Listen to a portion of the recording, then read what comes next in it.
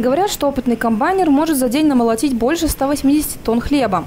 Правда, для этого нужно работать иногда до полуночи, а иногда и вовсе до зари. Такие герои жатвы нашлись в Барановичском районе, на колосящихся полях открытого акционерного общества «Птицефабрика Дружба». Экипаж в составе старшего комбайнера Александра Семенюка и его помощника Александра Луцко намолотил 2000 тонн зерна, которые позволили Барановичскому району стать первым 100-тысячником из всех регионов области. О своих заслугах герои жатвы говорят скромно, отдавая лавры то пресловутой сплоченности, то технике. Чем секрет хорошей работы? Ну, секрет. Удача, естественно, что самое большее. Не ломались, хорошо и шли, все.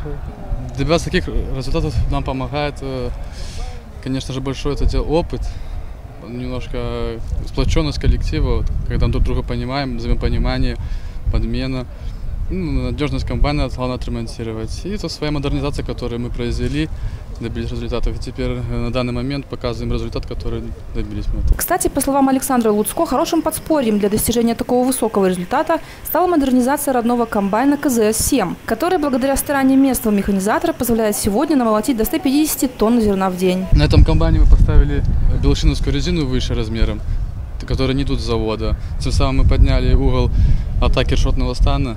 Система очистки производит очистит зер- зерно лучше чистит с минимальными потерями и, соответственно, в бункер поступает больше зерна. На каждый день выходит там несколько килограмм, а за день выходит тонны и дальше. Чем дальше выбираем, тем больше намот проис- проходит, ну, получается. В последний день июля 9 героев жатвы Барановического района глава региона Константин Сумар поздравлял прямо в поле, на их родной Ниве, покорять которую они выходят каждый день, вставая ни свет ни заря.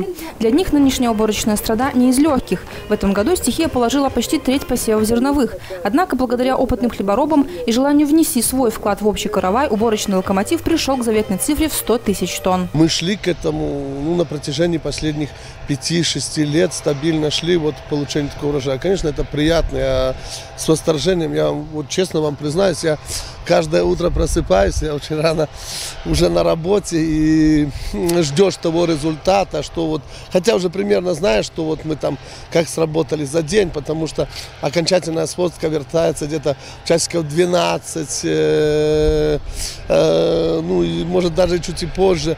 А вот утром уже это получаешь, получаешь такое жизненное вдохновение для себя, потому что за тех людей радуешься, которые тоже радуются такому вот событию, урожаю. А урожай действительно впечатляет. На 31 июля барановические аграрии убрали порядка 18 тысяч тонн зерна. Планируется, что к концу этой недели уборочная страда для них закончится. По словам главы области Константина Сумара, к таким высоким показателям привело в первую очередь выполнение государственных программ по возрождению села и указаний президента страны. А еще тот факт, что местные аграрии по-настоящему полюбили свою землю и научились с ней работать. Именно э, поэтапная работа, пошаговая, с выполнением всех технологических требований, о чем снова не раз нам говорит наш глава государства, и дала нам возможность брещанам на наших легких землях, не слишком плодородных, иметь сегодня 42 центра урожайных зерновых, на Барановицкому району более 52 центров. Я должен сказать, что из 230 хозяйств, которые у нас сейчас работают, вот, э, более 130 м,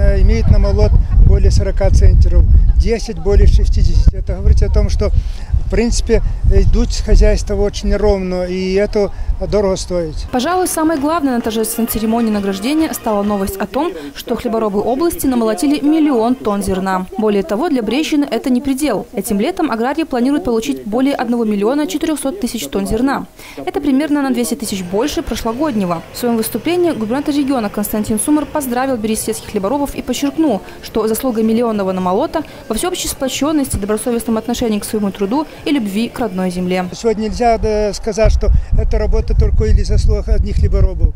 Я да, знаю, что в этом хлебном каравае, который мы будем иметь в этом году, это заслуга не только хлеборобов наших, но это заслуга и наших учителей, которые работают в школах, и наших медиков, и наших э, работников культуры.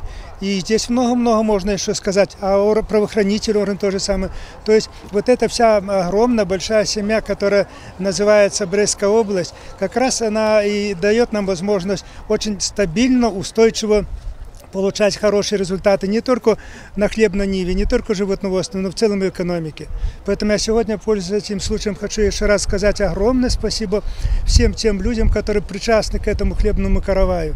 За этот миллион и за еще больше каравай, который у нас будет по окончании уборки. Спасибо большое, мира вам всем, добра, счастья, благополучия и дай Бог, чтобы каждый из вас жил сто лет на этой земле. Виктория Драгобецкая, Эдуард Бакунович, Антон Луговкин, телекомпания Бук ТВ.